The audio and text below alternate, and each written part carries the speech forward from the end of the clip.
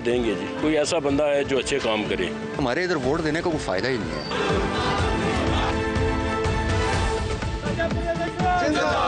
Election का माहौल कैसा है? इस दफ़ा कोई ठंडा ठंडा इलेक्शन है। खान के वहाँ पे एतमाद है कि 2013 वाला रिज़ल्ट इंशाल्लाह रिपीट होगा। वोट किसी को नहीं देना। परेशान है कंफ्यूज हैं। वोट हमने अपने आने वाले बच्चों के मुस्तकबिल के लिए देनी है। ये जो लाल हवेली वाले हैं ये हर दफ़ा एक झूठे प्रोपेगेंडे के साथ लोगों के सामने आते हैं। इस दफ़ा सिलेक्टर्स उनके साथ नहीं हैं। हमें सख्त फैसले लेने पड़े और उसकी वजह से ये महँगाई का एक कुरान हमारे पास भी आया। वोट कैसे दें? कौन इस काबिल है? इस वजह से वोट देंगे कि हमारा मुल्क तरक्की करे और आगे बढ़े।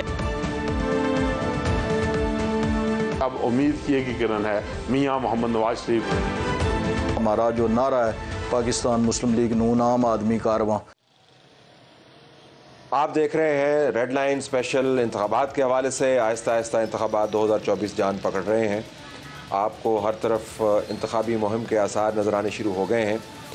तमाम रीजन्स की तरह पटवार रीजन के अंदर भी गहमा गहमी बढ़ रही है। पटवार रीजन से मुराद हम चार अजला लेते हैं। रावलपिंडी, अटक जेहलम और चकवाल। पाकिस्तान तरीके इंसाफ के उम्मीदवार पाकिस्तान भर की तरह इस रीजन में भी आपको परेशान नज़र आते हैं। इंतबी सिंबल के जाने के बाद वो समझते हैं कि उनके 2018 के बड़े बड़े इंतबी गढ़ अब गढ़ों में तब्दील हो गए हैं। ये रीजन उनके लिए एक बहुत बड़ा गढ़ था 2018 में, जहाँ पर उनके मुखालिफ नून लीग ने कोई नशस्त हासिल नहीं की थी, जबकि 2013 में नून लीग ने यहाँ से दस नशस्तों के साथ पहली पोजीशन हासिल की थी, जबकि पाकिस्तान तहरीक इंसाफ को दो और अवामी लीग को एक नशस्त पर कामयाबी हासिल हुई थी 2018 में। हालात अक्सर तब्दील हो गए। पाकिस्तान मुस्लिम लीग नून, जिसने तकरीबन सवा तेरह लाख के करीब वोट 2013 में लिए थे 2018 में उनका वोट बैंक श्रिंक कर गया और वो तकरीबन नौ लाख तक महदूद हो गए। 2018 में पाकिस्तान तहरीक इंसाफ ने 11 लाख सतानवे हज़ार के लगभग वोट लिए। और इस तरह उन्होंने अपनी हुकूमत साजी में ख़ुद को मदद फराम की। इस मरतबा हालात अक्सर आपको मुख्तलिफ़ नज़र आते हैं। जो पाकिस्तान मुस्लिम लीग नून के उम्मीदवार हैं, वो ये भापते हुए कि हालात मवाफ़ हैं। काफ़ी पुरुद है।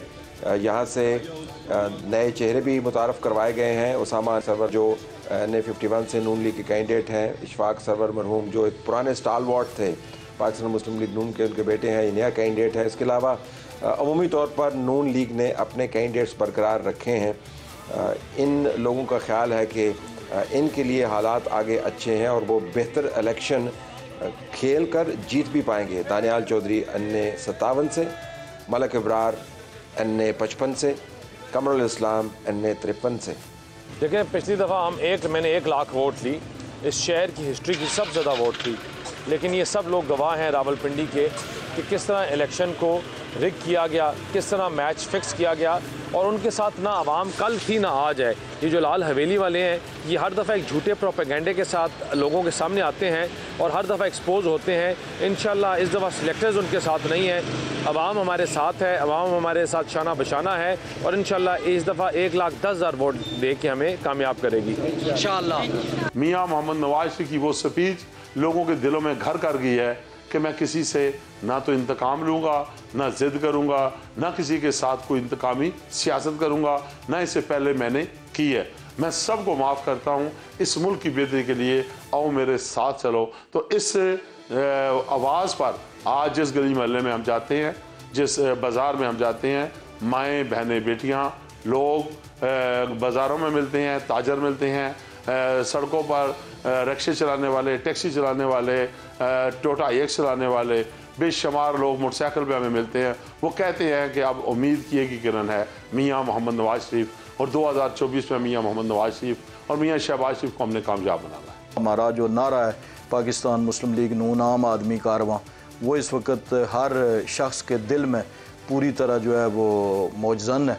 और इन हम हमारी जो कंपेन अब तो टिकट भी अनाउंस हो गए ना तो उससे पहले जब गैर यकीनी थी तो मैं उन उन बड़े बड़े प्रोग्रामों इज्तम और जलसों की बात कर रहा हूँ।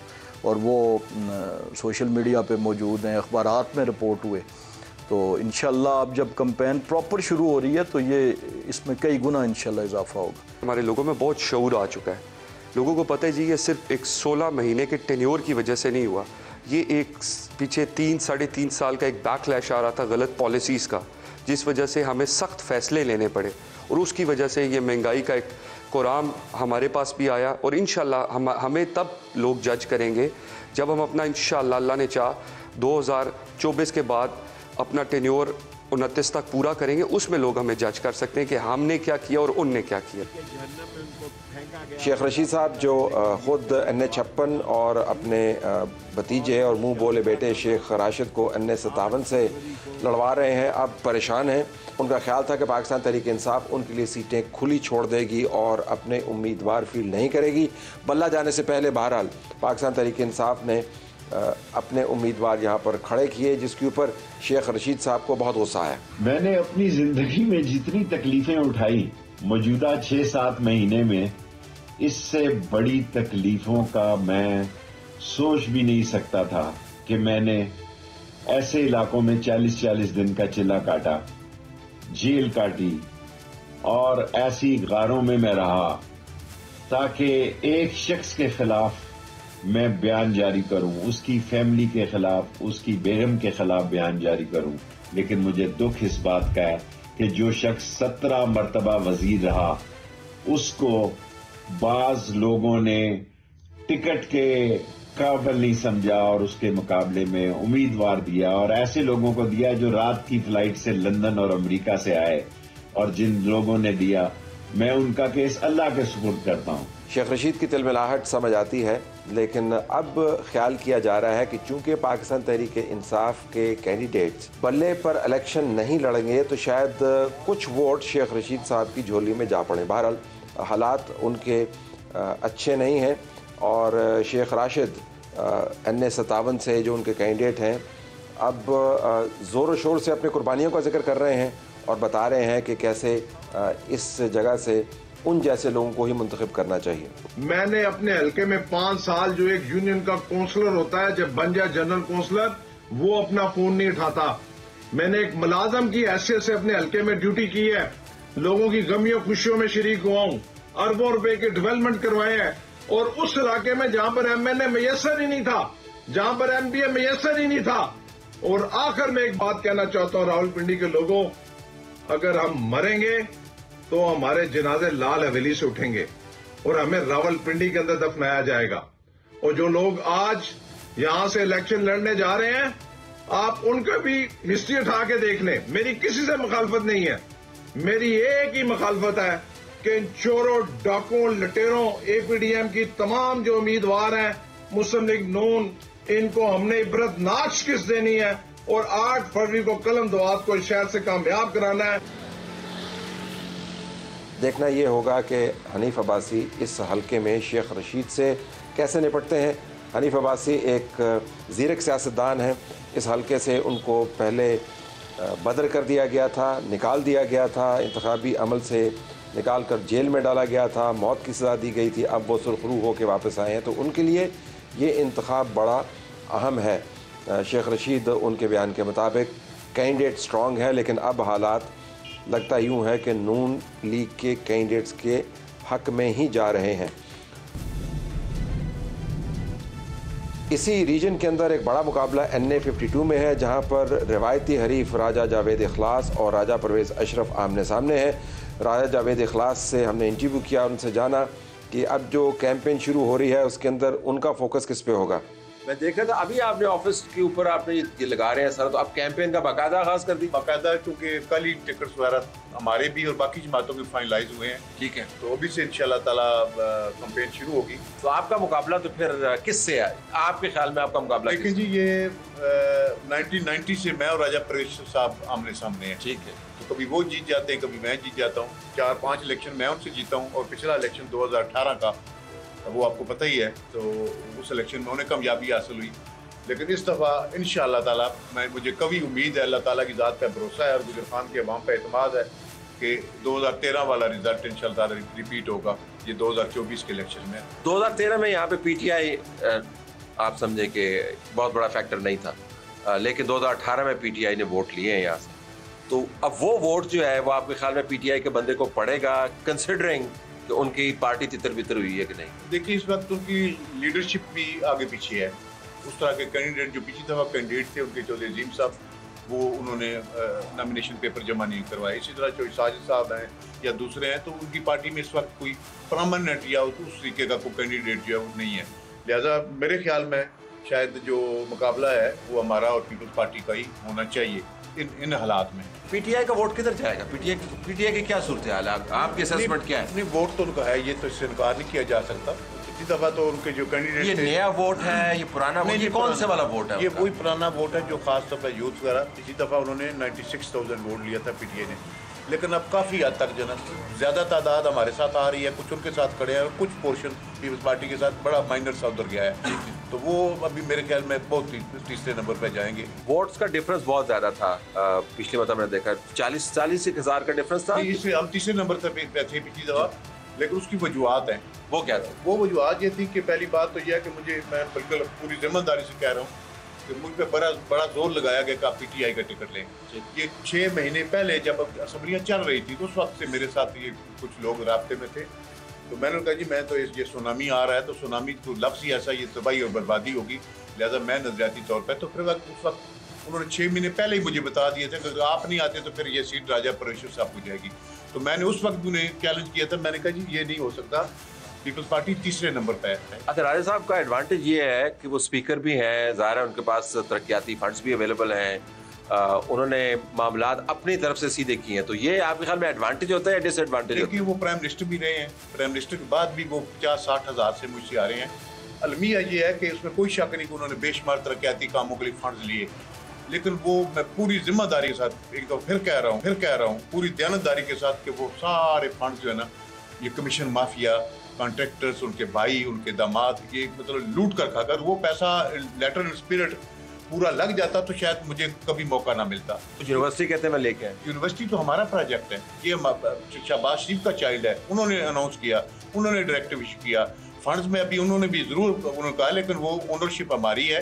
लिहाजा जब वो प्राइम मिनिस्टर थे तो उस वक्त तो उन्होंने ना कोई हॉस्पिटल बनाया ना कोई यूनिवर्सिटी बनाई। हमारा उसके मुकाबले में तलीमी हवाले से एक रह कार्ड है दो सौ से ज़ायद तलीमी इदारे जिसमें छः डिग्री कॉलेज छः हायर सेकेंडरी स्कूल साठ जो है वो अपना सेकेंडरी स्कूल बच्चों और बच्चियों के, चालीस, पचास जो है वो एलिमेंट्री स्कूल इस तरीके से हमारा तक लंबा सिलसिला है और पूरी टीम का। इसी तरीके रोड सेक्टर में भी और उसमें एक पहलू, मैं ये कहना चाहता हूँ कि आप माशाल्लाह एक बड़े हाई प्रोफ़ाइल आपका सारा ये आप इंफॉर्मेशन रखते हैं। मैं ज़िला नाजम भी रहा हूँ तो कोई महकमा, कोई कॉन्ट्रैक्टर कोई महकमे का अफसर कोई ए सी डी सी कोई इंजीनियर कोई एक्सचीएन कोई चीफ एक रुपए की भी बदयांती का इल्ज़ाम लगाए तो फिर हमें कोई हक नहीं पहुँचता तो मुझे लग रहा है कि इस बार आपने जो तकरीरें करनी है ना तो आपको तुन के रखना है फिर अपने ओपोनेंट को। ओपोनेंट आपका पीपल्स पार्टी तुन के भी नहीं रखना बल्कि हाँ। हकायक बयान करने हैं हमने। मेरिट पे बात करनी है। और हमने अपनी कारकर्दगी की बुनियाद पर गुजर खान के अवाम के पास जाना है। आपका सबसे बड़ा चैलेंज क्या है बिल्कुल आप? चैलेंज अवाम के लिए तो ये है कि आवाम बेचारे पिस गए हैं महँगाई में। दवाई नहीं खरीद सकते।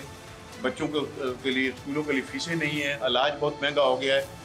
ये चीज़ें हैं कंसनट्रेट करने के लिए। और मुझे उम्मीद है कि हमारी लीडरशिप इस दफ़ा इन ताला अपने बजट का जो मेजर जो प्रायोरिटी है, वो हेल्थ और एजुकेशन पर सर्व करेगी। इससे लोगों में, लोगों के लिविंग स्टाइल में बेहतरी आएगी। राजा परवेज़ अशरफ के इंतबी ऑफ़िस में भी हम गए, जहाँ पर साडा राजा जीतेगा के नारे हर तरफ़ गूंज रहे थे।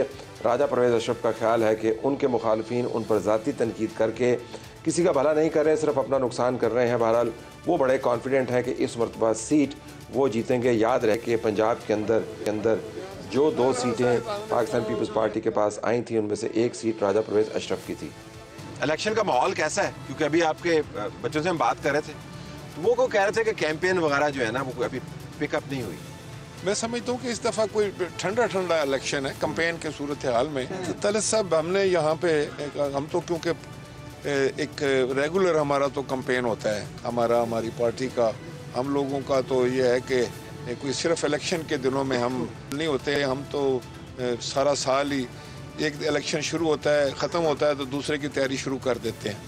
और अल्लाह का शुक्र है, यहाँ तो गहमा गहमी आपको नज़र आएगी पार्टी के हवाले से। और बाकी मामला ऐसे हैं, शायद बाकी हमारे मखालफी जो थे, वो टिकटों के हवाले से या और उनके कुछ मामला थे अभी तक मुझे सड़कों पर नज़र नहीं आए। आपका हरीफ रिवायती है आज भी ना? जी जी। तो आ, पिछली मरता तो पीटीआई से मुकाबला था। अब पीटीआई तो आप के ख्याल में तितर बितर है या क्या है? पीटीआई कहाँ पे खड़ी जी पीपल पीपल वो तो ऐसे ही है जिसकी जिस तरह आप फरमा रहे हैं। और हमारे जो रवायती हरीफ थे उनके भी एक तो जो उनके सीनियर साथी थे जो पहले सूबाई वज़ीर भी रहे एम एन ए भी रहे एम पी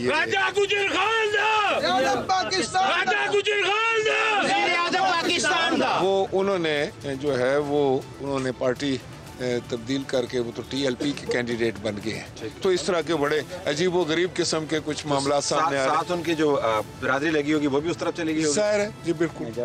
तो इसी तरह ही होता है जी। तो शुक्र है हमारे पाकिस्तान पीपल्स पार्टी जो है मुतहद भी है मज़बूत भी है इकट्ठी भी है और कोई अभाम भी नहीं है और हम अल्लाह ताला की ज़ात से पर भरोसा है और पंजाब गुजर खान की आवाम पर भरोसा है कि इन ताला एक तारीखी जो है वो फतह अल्लाह ताला नसीब इस, इस वक्त मुश्किल इलेक्शन है या आसान इलेक्शन नहीं मैं समझता हूँ कि मुझे तो कोई इसमें बड़ी बात नहीं करनी चाहिए और वक्त से पहले कोई अंदाज़ा भी नहीं लगाना चाहिए और मैंने कभी ऐसा किया भी नहीं लेकिन मुझे पीपल्स पार्टी के हवाले से बहुत अच्छा इलेक्शन नज़र आ रहा है। मैं अभी आपके ओपोनेंट से बात करके आ रहा हूँ तो वो तो बड़ी सख्त बातें करते हैं आपके बारे में। वो कहते हैं जी कि जब भी राजा साहब जो है ना बड़े ऑफ़िस पे जाते हैं वो इलेक्शन हार जाते हैं।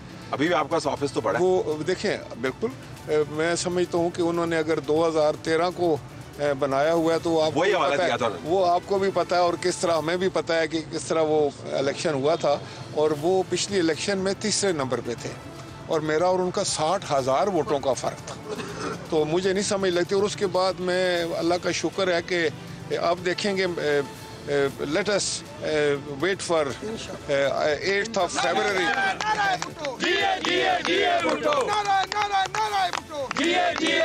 मेरे मुझे फ़ख्र है कि मैं जब इस वक्त आवाम के सामने जा रहा हूँ तो मैं अपनी कारकर्दगी की तमीर और तरक्की के हवाले से जा रहा हूँ। और गुजर खान का बच्चा बच्चा ये जानता है कि उनकी तमीर उनकी उनके लिए आसानियाँ पैदा करने में किसने किरदार अदा किया है। और वो इन ताला उस पर मुझे भरोसा है। और ये लोग तो सिर्फ़ जा रहे हैं इल्ज़ाम की बारिश करने पर और उल्टी सीधी बातें करने पर। अब मेरा मनसब नहीं है तलत साहब कि मैं उस लेवल पर आकर उनका जवाब दूँ। तो मैं आपकी डिलिमिटेशन में हल्का तब्दील भी हुआ है। जी। फ़र्क पड़ा फ़ायदा हुआ नुकसान? वो अल्लाह की मेहरबानी से उससे मुझे बहुत ज़्यादा फ़ायदा हुआ है। कल आपने देखा होगा या सुना होगा कि कल मेरा वहाँ पर तख्त पड़ी में एक पब्लिक जो थी वो गैदरिंग थी बहुत शानदार थी।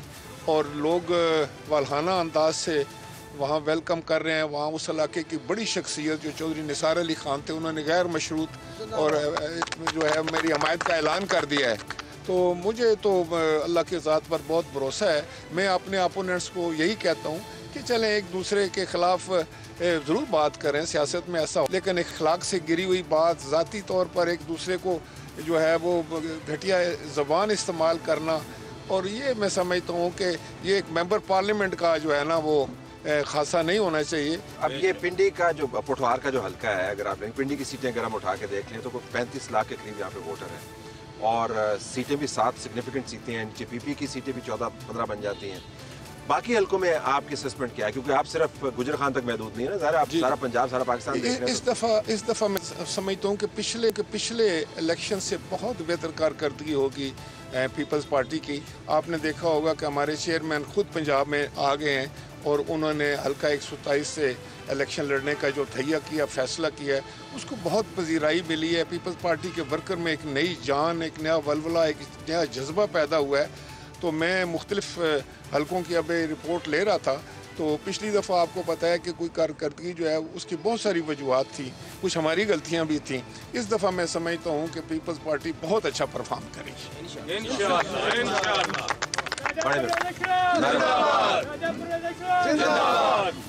Thank you very much. This is most uh, important. साहब you want to say something? On बिल्कुल बिस्मिल्लाहिर्रहमानिर्रहीम तलत साहब शुक्रिया आप गुजर खान तशरीफ़ लाए और मैं सिर्फ़ ये कहना चाहूँगा कि हम इलेक्शन में जा रहे हैं और हम खिदमत की बुनियाद पर इलेक्शन में जा रहे हैं। तहसील गुजर खान का चप्पा चप्पा और कोई ऐसा कोना नहीं है जहाँ पर पाकिस्तान पीपल्स पार्टी और राजा परवेज अशरफ की खिदमत का निशान ना हो। और इस उम्मीद पर हम और जहाँ तक बात रही, आपने मुखालफी का ज़िक्र किया। आप अगर नून के दोस्तों के पास जाएँगे तो वो भी हम पे तनकीद करेंगे। आप पी टी आई वालों से मिलेंगे, वो भी हम पे ही तनकीद करेंगे, क्योंकि दोनों हमसे खौफज़दा हैं। और उनके दिल और दिमाग में ये बात मौजूद है कि राजा परवेज अशरफ साहब इस दफ़ा और उनका पैनल। 18 के मुकाबले में हम डबल डबल लीड से कामयाबी हासिल करेंगे। आठ फरवरी का जो दिन है, वो इन ताला पाकिस्तान पीपल्स पार्टी की। राजा परवेज अशरफ साहब और उनके पैनल की और गुजर खान की फतह का दिन है इंशाल्लाह तलत साहब आपने मुकाबले की बात की। मौला का करम है तहसील गुजर खान के अवाम की मोहब्बतें हैं। दूर दूर तक कोई मद्द मुकाबिल नहीं है। ये मुस्लिम लीग नून और पीटीए वाले दूसरी और तीसरी पोजीशन के लड़ेंगे और सुरखरू होगा और फतेहयाब होगा तो वो राजा अशरफ होगा और उनका पैनल होगा इंशाल्लाह। कोटवा डिवीज़न के एक और इलाके चकवाल में हम गए। वहाँ पर पाकिस्तान पीपल्स पार्टी के जो मुकामी नुमाइंदगान हैं उनसे हमने मुलाकात की। राजा रिजवान साहब को उस वक्त जब हम उनका इंटरव्यू कर रहे थे पाकिस्तान पीपल्स पार्टी की तरफ़ से टिकट की उम्मीद थी उनसे हमने जो बातचीत की, बातचीत के ख़त्म होते ही पता चला कि पाकिस्तान पीपल्स पार्टी ने उनसे टिकट ले लिया है। और जुल्फ़ार दुल्ला साहब जो हैं, जो पिछली मरतबा पाकिस्तान तहरीक इंसाफ की तरफ़ से आए थे, उनको टिकट दे दिया है।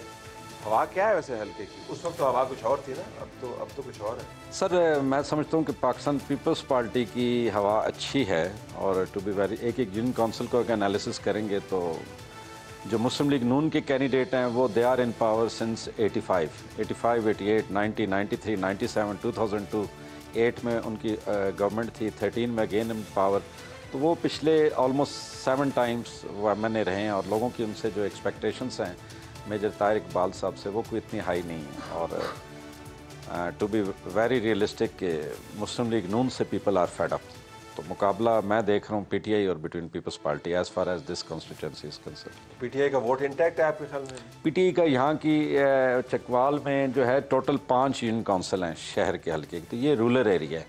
यहाँ रूरल एरियाज़ में जो पॉलिटिक्स होती है वो धड़ों की पॉलिटिक्स होती है। स्विच ओवर हो गए जहाँ यूनियन काउंसिल चेयरमैन जहाँ नायब चेयरमैन या धड़ा जहाँ स्विच ओवर हो गया तो वहाँ फिर खान साहब का वोट नहीं रहता।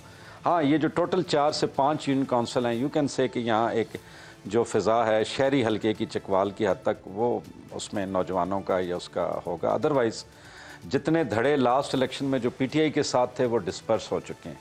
और उसमें से ऑलमोस्ट 50 परसेंट धड़े पाकिस्तान पीपल्स पार्टी के साथ। तो अब कैंपेन किस बुनियाद पर है चकवाल में? चकवाल की कैंपेन इस बुनियाद पर है कि तलत भाई चकवाल को पाकिस्तान पीपल्स पार्टी ने हार कर भी जो 50 साल में दिया है वो जीत कर भी लोगों ने नहीं दिया। आप जिस रोड से होकर आए हैं Mandra to Chakwal Chakwal to Suhawa road ये पाकिस्तान पीपल्स पार्टी ने अपने टेन्योर में जब राजा परेज अशरफ साहब ये मेगा प्रोजेक्ट्स हैं नीलादुल्ला इंटरचेंज मेगा प्रोजेक्ट है। इस चकवाल की हर देहात की सुई गैस बिजली Pakistan Peoples Party NADRA office Pakistan Peoples Party recruit army recruitment centre Pakistan Peoples Party. तो पाकिस्तान पीपल्स पार्टी ने यहाँ मेगा प्रोजेक्ट्स दिए हुए हैं जो कि अनफॉर्चुनेटली कोई और जमात नहीं दे सके। तो लोग वोट क्यों नहीं देते? जितने कैंडिडेट्स हैं अनफॉर्चुनेटली चकवाल की पॉलिटिक्स का एक अलमिया ये रहा है कि चकवाल की पॉलिटिक्स में लोगों ने बहुत पार्टियाँ स्विच ओवर की। हम मैं किसी को बगैर नाम लिए भी कहूँ तो अब मेरे मुखालिफ एयाज अमीर साहब एयाज अमीर साहब they have been in Pakistan Peoples Party under the flag of Peoples Party फिर वो मुस्लिम लीग नून से इलेक्शन लड़े फिर वो आज़ाद हैसियत में गए फिर वो दो चार छः माह पहले पीटीआई के साथ उनकी हमदर्दियाँ जागी। सोशल मीडिया ने कितना चेंज किया लोगों की सोच को? वो कहते हैं नया वोटर आया है उसमें तो नया वोटर बहुत रजिस्टर हुआ है। सोशल मीडिया से वो अपनी ओरिएंटेशन तरबियत लेता है। वो कितना बड़ा फैक्टर है इस हल्के में? सोशल मीडिया का देखें फैक्टर तो है। वी कैन नॉट एरियाज़ में सोशल मीडिया इफ़ेक्ट कर अर्बन एरियाज़ में इफ़ेक्ट रूरल एरिया आजकल हर एक के हाथ में मोबाइल और पीपल आर फेसबुक यूज़र लेकिन सही पूछें तो डिस्ट्रिक्ट चकवाल में पीटीआई के बाद अगर कोई सोशल मीडिया स्ट्रांग है तो वो पीपल्स पार्टी का और कितनी कैंपेन का हिस्सा जो है सोशल मीडिया के ज़रिए चलवा रहे हैं I think not more than fifteen to twenty Rizwan साहब ने बातें तो बड़ी अच्छी की लेकिन उसके बाद उनके जो मेम्बरान थे उन्होंने हमारे सामने बैठे हुए बहुत खुले अल्फाज में रिजवान साहब के हक़ में और जुल्फ़ार दुल्ला के ख़िलाफ़ बातें की और कहा कि हम किसी बाहर वाले के लिए कैंपेन नहीं करेंगे। हम जो पार्टी के साथ ज़रूर हैं। अगर ये शख्स सामने आता ना हम दिल जान लगाते अभी भी लगा रहे हैं ना। क्यों? क्योंकि इंसान फेयर है। अब उसके लिए जो खुद कहीं से उठ के पहले कहीं जाके बैठता है कहीं से उठता है कहीं बैठता है अब हम किस मुँह से लोगों को जाके कहे भी यार तुम उसको वोट दो? कल तक हम उसके खिलाफ चलते रहे आज हम उसके चकवाल से ही पाकिस्तान मुस्लिम लीग नून ने मेजर रिटायर्ड ताहिर इकबाल को वोट दिया है। वो भी बड़े पूरी उम्मीद है कि इस मरतबा वो इंतखब बहुत अच्छे तरीके से ना सिर्फ़ लड़ेंगे बल्कि जीतेंगे भी। याद रहे कि उनके अगेंस्ट अयाज अमीर साहब जो फ़ेमस कॉलमनिस्ट हैं और काफ़ी पार्टियाँ तब्दील कर चुके हैं। उनको पाकिस्तान तरीक इंसाफ की तरफ़ से टिकट दिया गया था लेकिन अब वो आज़ाद उम्मीदवार के तौर पर ही इंतखब लड़ पाएँगे जिससे तार इकबाल साहब के प्रॉस्पेक्ट्स आपको नस्बता बेहतर होते हुए नज़र आ रहे हैं। तो मैं आपके मुखालिफ पीपल्स पार्टी के दफ्तर में उनके कैंडिडेट से जिसको ज़ाहरन टिकट दिया हुआ था। बैठा इंटरव्यू कर रहा था आप तक पहुँचते पहुँचते उन्होंने कैंडिडेट तब्दील कर दिया पीटीआई का कैंडिडेट अब उनके पास चला गया जी। और पिछली मरतबा उसने ढेर वोट भी लिए हैं। तो इसका आपको फ़ायदा है या नुकसान है? ये शिफ्टिंग ऑफ़ पार्टी जो दुल्ला साहब कर रहे हैं ना, ये आज नहीं, परसों, तीन दिन पहले उन्होंने ये कहा है और ज़मीन पर पाँव मार के कहा है कि टिकट मेरा है और मेजर तायर मेरे साथ बैठ कर प्रेस कॉन्फ्रेंस करेगा कि मैं दुल्ला साहब की सपोर्ट करता हूँ। तो अल्लाह का फजल है, अल्लाह ने अता किया है हमें, मैं I hundred percent believe in it destiny is always decided by almighty Allah so ये वो आज शिफ्ट मार के हम भी, अभी ये आपके आने से आधा घंटा पहले ये डिस्कस हो रही है। सुना है जी, आ रहा है, जा रहा है, लेकिन अभी किसी ने कहा कि जी टिकट उनका हो गया है। सो ये is gone to People Party now और वो समझते हैं कि मेरे को पैसा है I must go into the election every time अब भी उन्होंने यही सोचा है कि चाहे डिपेंडेंट है, कोई भी है, इधर उन्होंने बड़ी कोशिश की है कि भाई गिव एंड टेक आईपीपी के साथ करके और मुस्लिम लीग के साथ करके और बड़ा प्रेशर रहा है मियाँ साहब पे। लेकिन ही डेंट एग्री उन्होंने कहा चकवाल की सीट्स पे मैं किसी से कोई बात नहीं करता। अयाज अमीर साहब भी आ गए हैं। ये अजमीर लड़ रहे हैं और पीटीआई की तरफ़ से लड़ रहे हैं। तो स्ट्रॉन्ग कैंडिडेट आपके ख्याल में? कैंडिडेट ठीक है वो। लेकिन अयाज मीर साहब पिछले ग्यारह साल से चकवाल में नहीं आए। आपकी इस मरता कैंपेन क्या है? फोकस क्या है कैंपेन सर फोकस हमारा यही है कि हमने लोगों तक ये पैगाम पहुंचाना है कि Muslim League is the only party which can take you out of this trouble इस वक्त जो जिस मुसीबत में ऐसी मुसीबत में फंसे हुए हैं मियाँ नवाज़ शरीफ ही हल है पाकिस्तान का। और हम इसी पे बेस करेंगे अपनी कंपेन प्लस जो हमारा अपना बैगेज है पिछला जो हमने काम किए हैं मतलब अगर आप सिर्फ़ देखेंगे तो दो रोड जो पिछले पाँच सालों में मैंने उस वक्त बनवाई थी स्वावा चकवाल मतलब शायद आप उसी पे आए होंगे like a motorway sir, सत्रह अरब रुपए की ये दो रोड्स बनी हैं जो हमने बनवाई हैं, सर। और चकवाल में ओवरऑल अब अगर देखेंगे, कम अज कम दो तीन सौ किलोमीटर कारपोरेटेड विलेज रोड्स हैं।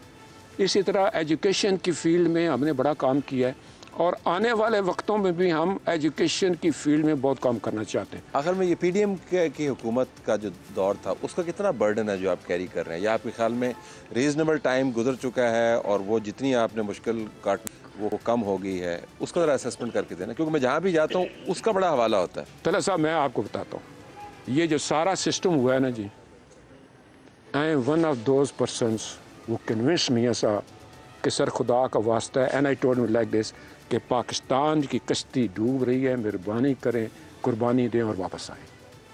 और इस चीज़ को संभालें, वरना पाकिस्तान डूब जाएगा। इस सेट वे साहब क्या बात करें? मैं कि जी मैं बात वो करूँ जो पाकिस्तान की रिक्वायरमेंट है। आप मेहरबानी करें और ये शबाज शरीफ को आगे करें। ये बोझ उठाएँ वरना पाकिस्तान डिफ़ॉल्ट कर जाएगा। And we have nothing left with us फिर हम क्या करेंगे? सो so, उससे हमें नुकसान हुआ है। इसमें दो राय नहीं है। अब सारे लोग कहते हैं एंजॉय एवरीबडी इज़ एंजॉयड वो सारा मुस्लिम लीग ने माशी तौर पर बर्बादी की है। नहीं। मुस्लिम लीग ने कोशिश कर अब वो रिकवरी आपने की है या आपके ख्याल में अभी आप वहीं पे खड़े हैं जहाँ के लोग जब भी जाते हैं वो कहते हैं जी देखने आपने क्या किया था? नहीं सर नहीं। You will see now the campaign is starting so politically हम अब पॉजिटिव की तरफ़ जा रहे हैं और जिस दिन मियाँ साहब इलेक्शन कैंपेन के लिए बाहर निकलेंगे आप देखेंगे कि ज़मीन आसमान का फ़र्क पड़ जाएगा इस एरिए में सो इन पाकिस्तान चकवाल में हमारी छः की निकलेंगी और ओवरऑल मैं आपको अपना जजिया भी दे दूँ। कि Muslim League will get about hundred ten to hundred twenty seats Chakwal से निकलते ही आप जहलम की तरफ़ आ जाते हैं। जहलम एक मुख्तसर वक्त के लिए फवाद चौधरी और उसके बाद हिबा चौधरी से मुंसलिक हो गया था। ख्याल किया जा रहा था कि जिस तरह जहलम का एक ही नुमाइंदा है, जिसका नाम है फवाद चौधरी उसका भाई। फवाद चौधरी अपने बेवकूफ़ाना गरूर का खुद ही शिकार हुए और मुँह के बल ऐसे गिरे कि अब ना उनका नाम है इस इंतखब में और ना उनके किसी नुमाइंदे का नाम है। लगता यूँ है कि जैसे जादू फिर गया है और बिल्कुल गायब हो गए हैं। अडयाला जेल में खुद बैठे हैं, बेगम के कागजात नामजदगी मुस्तरद हो गए हैं, भाई का कहीं पर ज़िक्र नहीं है। जेहलम के अंदर फवाद चौधरी सियासी मंजरनामे से गधे के सर से सिंह की तरह गायब हैं। यहाँ पर पुराने खिलाड़ी बहरहाल मौजूद हैं। सीटों और टिकटों का पाकिस्तान मुस्लिम लीग नून ने तबादला किया। चौधरी फर्रख को जो सीट एलोकेट की थी वो तब्दील करके बिलाल अज़हर कियानी साहब को वो सीट दी। बिलाल अज़हर कियानी साहब की पाकिस्तान नून के अंदर आजकल बड़ी से है। उन्होंने हल्का एन ए सिक्सटी के अंदर अब अपनी कैंप अपनी कैंपेन का आगाज़ किया है। उनका ख्याल ये है कि क्योंकि उनके वालद मोहतरम का हस्पताल इसी हल्के के अंदर मौजूद है उनका ख्याल है कि अगरचे उनका पहला इंतखब है, लेकिन वो यकीन यहाँ से जीत पाएँगे। इसके बरक्स पुराने जीरक सियासतदान चौधरी फ़र्क अल्ताफ़ भी पाकिस्तान मुस्लिम लीग नून का टिकट लेकर यहाँ पर मौजूद हैं, कैंपेन अपनी चला रहे हैं। नून लीग का ख्याल है कि जेलम से उनकी ये दोनों सीटें पक्की हैं। इस वक्त जो हमारा हल्का तब्दील हुआ हमारा ज़िला जो है इस पर दो नेशनल असम्बली के हल्के हैं, एन ए साठ और एन ए इकसठ। इस दफ़ा जो हल्का इकसठ है, उससे मैं पाकिस्तान मुस्लिम लीग नवाज़ का उम्मीदवार हूँ। और ये हल्का जो है, जो गुजशत इलेक्शन हुए थे, उसमें तकरीबन 40 परसेंट जो हल्का है, पैंतीस से चालीस परसेंट, वो यही हल्का था, इसमें शामिल है, जो उन्नीस बीस सौ अठारह में जिसमें मैं इलेक्शन जीता था। और ये अब जो मौजूदा इकसठ का हल्का है, इसमें तकरीबन 10 परसेंट देहाती शहरी आबादी है और 90 परसेंट ये देहाती आबादी पर मुश्तमिल है। और मेरे लिए इसमें कोई ऐसा मसला नहीं है, अल्लाह ताला के फजल करम से जो हालात हैं वो बहुत बेहतरीन और मैं समझता हूँ कि आने वाले इलेक्शन में इंशाल्लाह भरपूर अक्सरियत के साथ आवाम जो हैं वो पूरे हमारे साथ तावन करेंगे और भारी अक्सरियत से इस हल्के से कामयाबी हासिल करेंगे। लेकिन जेहलम के अंदर पाकिस्तान तहरीक इंसाफ का वोट भी मौजूद है और रिलीजियस वोट भी मौजूद है। आज़ाद उम्मीदवार जाहिद अख्तर पाकिस्तान तहरीक इंसाफ के पुराने ऑफ़िस बेरर हैं। नौ मई से पहले ही पाकिस्तान तहरीक इंसाफ को उन्होंने छोड़ दिया था। उनका ख्याल है कि उनकी तनजीमी सलाहियत उनको इस मरतबा जेलम से सुरखरू करवाएगी। इस वक्त आपका मुकाबला बरह रास्त किस से? किससे मुकाबला तो मुस्लिम नून बिलाल अजहर क्यानी उनके बड़ी मिनतें करके टिकट लेके आए हैं उनके साथ ही नज़र आ रहा है मुझे। उनका पहला इलेक्शन पहला इलेक्शन जी उनका पहला। आपका एडवांटेज है ये? बहुत बड़ा इंशाल्लाह मैं तो समझता हूँ। वैसे भी कभी भी ओपोनेंट को आपको कमज़ोर नहीं समझ इन माई ओपिनियन कोई भी हो वो उतना ही मज़बूत है जितना कि कोई पुराना बंदा होगा। मेरे लिए दोनों एक जैसे होंगे। मैं ओपोनेंट को हमेशा मज़बूत ही समझता हूँ। आपने पीटीआई को छोड़ दिया नौ मई से पहले? जी twenty second of April it was और उसकी रीज़न क्या बनी थी? मैंने सिंपल जी दो पॉइंट्स दिए थे। पार्टी को कि क्या मौरूसीत का ख़ात्मा जो हम लेके निकले थे, वो ख़त्म हुआ? क्या हमने मेरिट को तरजीह दी? क्योंकि उस वक्त एक हमारे मैं एप्लीकेंट भी नहीं था उस सीट का। एक यावर कमाल हमारे एक्स एमपी हैं, वो उसके एप्लीकेंट थे। और जबकि वो टिकट अलाट कर दिया खान साहब ने फवाद के कज़न को। तो मैं उसके ऊपर मैंने ये प्रेस कॉन्फ्रेंस की और मैंने एहतजाजन पाकिस्तान तहरीक इंसाफ छोड़ी। कि हम तो निकले थे इस मौरूसीत को ख़त्म करने ये घर के अंदर जो बच्चा फिर उसका बच्चा फिर उसका बच्चा। तो मेरी किसी से ज़ाती लड़ाई नहीं थी एक असूल के ऊपर। मैंने और आप लॉन्ग स्टैंडिंग पीटीआई के ऑफ़िस बेयर थे जो तमाम रीजन के साथ डील कर रहे थे बशमूल सरगोदा डिवीज़न मैंने बेसिकली बेसिकली सर 2014 में पाकिस्तान तहरीक इंसाफ ज्वाइन की। 2016 में मैं पहली दफ़ा सदर बना डिस्ट्रिक्ट का। दूसरी दफ़ा मैं 2018 में बना 2020 में बना। तीन दफ़ा डिस्ट्रिक्ट को मैंने हेड किया बीइंग ए डिस्ट्रिक्ट प्रेसिडेंट और मैंने सिर्फ़ वो डिस्ट्रिक्ट प्रेसिडेंटशिप ऐसे नहीं की कि बस आ गया और बस बन गया। मैंने साढ़े पाँच हज़ार नोटिफिकेशन किए थे जो मैंने वर्कर नोटिफाई किया था अपने उस टनियोर में। तो अभी आप आज़ाद हैं? जी बिल्कुल जी इंडिपेंडेंट तो आपका वोट बैंक अब क्या है? पार्टी का टिकट आपके पास है नहीं तो क्या वोट बैंक है आपका? मैं एक आम आदमी हूँ जी। एक आम आदमी को रिप्रेजेंट करता हूँ, एक आम आदमी का बेटा हूँ। क्या एक आम आदमी, मैं बार बार आम आदमी इसलिए कह रहा हूँ कि ये इस लफ्ज़ को मैं लोगों तक पहुँचाना चाहता हूँ कि आम आदमी को इस सारे के सारे सिस्टम में आना चाहिए। आम आदमी को पता होना चाहिए कि इम्पोर्टेंस किसकी है।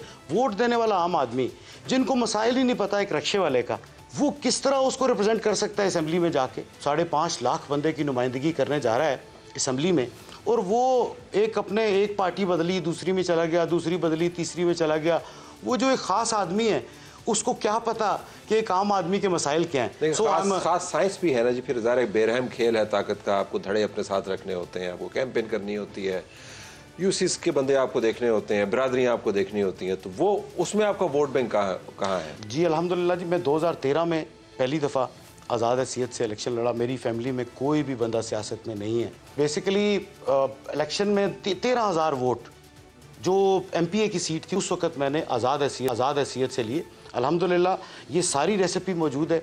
इस सारी रेसिपी मैंने काम भी किया हुआ है।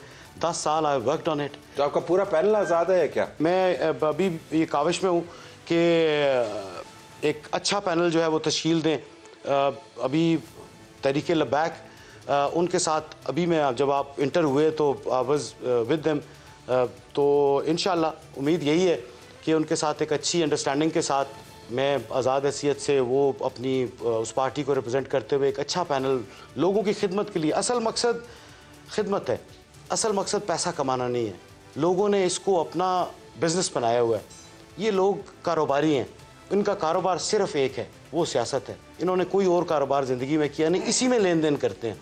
इसी में ही जो है वो कभी एक पार्टी में जाके लेन देन करते हैं, कभी उससे ख़रीद लेते हैं, कभी इससे, इसको बेच देते हैं। ये लोगों ने कारोबार बनाया हुआ है मेरी नज़र में। ये कारोबार नहीं है, ये खिदमत का जज्बा है जो आप अपने मुल्क के लिए, अपने इलाके के लिए अगर कुछ करना चाहते हैं तो मैं कहता हूँ बेलोस होकर आना चाहिए। इन गरीब आवाम के लिए आना चाहिए, इस आम आदमी के लिए बाहर निकलना चाहिए। पाकिस्तान पीपल्स पार्टी ने भी अपने कैंडिडेट को यहाँ पर लॉन्च किया है। तस्नीम गुजर साहब पाकिस्तान पीपल्स पार्टी को रिप्रेजेंट करते हैं, बातें तो बड़ी अच्छी करते हैं, लेकिन जिस किस्म का माहौल जेलम के अंदर बना हुआ है एक बहुत बड़ा करिश्मा होगा कि अगर वो यहाँ से एक बड़ी कामयाबी हासिल कर पाएँ। क्या जेलम की सियासी सूरत हाल है सियासी हलचल तेज़ी में तो टूट फूट काफ़ी हमारे साथ आ रही है। और वो हमारे ही वर्कर थे जो गए हुए थे पीटीआई में नून में और वापस आ रहे हैं। कैंपेन क्या है यहाँ पे? आपका नारा क्या है कैंपेन देखें हमारा जो नारा है ना अब राज करेगी खल के खुदा। ये नारा हमारा पुराना था आप जानते अभी वो उस नारे वो उस नारे पे हम कारबंद कि वाकई राज करेगी खल के खुदा। हमारा कोई कंसेप्ट नहीं। हम चाह रहे हैं कि लोगों की वो महरूमियाँ जो थी पहले, वो उनको दें, उनको वापस करें, उसको डिलीवर उनको डिलीवर करें, ताकि उनको असलियत पता चल जाए कि असल में पीपल्स पार्टी के साथ हुआ क्या, कैसे किया गया, अब इसको हैंडल भी यहूदी कर रहे हैं। तो इन ताला गुड होप है। हमारा जो ज़िला है ना, इसका मैं आपको एक डायग्राम बताता चलूँ, आपको पता भी होगा कि ज़्यादातर लोग ओवरसीज़ हैं यहाँ पे। 40 45 परसेंट लोग हैं जो यूरोप में आबाद हैं। तो उनको एक सच्चा और खरा बयान चाहिए जो हम कर सकते जिसके लिए हम कोशिशें कर सकते हैं। ओवरसीज का तो पीटीआई का भी बड़ा क्लेम है कि सर बड़ा वो डिलीवर कुछ नहीं कर सके। आई एम सॉरी डिलीवर नहीं कर सके। झूठी नमूदो नुमाइश करके कि हम ये कर रहे हैं वो कर। सारी ज़िंदगी का इन्होंने चोर पकड़ा नहीं। चोर जिसको कहते थे वही साहब है ना जो इलेक्शन लड़ रहे हैं। अब किधर है? यूथ का आपने ज़िक्र किया ना तो आ, सबसे जो यंगेस्ट लीडर्स में से बल्कि प्रॉब्ली दी यंगेस्ट लीडर वो आपकी जमात के बिलावल भुट्टो सर। लेकिन पीटीआई का मानना ये है कि यूथ सारी उनके साथ है तो जेल में क्या कैफियत? जेल में पहले था ऐसे ही जैसे आपने कहा कि पहले जेल में यूथ थी लेकिन ड्राइवर कुछ नहीं कर सके। अभी यूथ में हमारे साथ हैं और जो हम अब जो नई चीज़ कैश कराए ना वो बेसिकली इग्नोरिंग द लेडीज़ ठीक। औरतों को इग्नोर किया गया। पिछली हमारी हुकूमत ने भी किया नवाज़ शरीफ ने भी किया पीटीआई ने भी किया।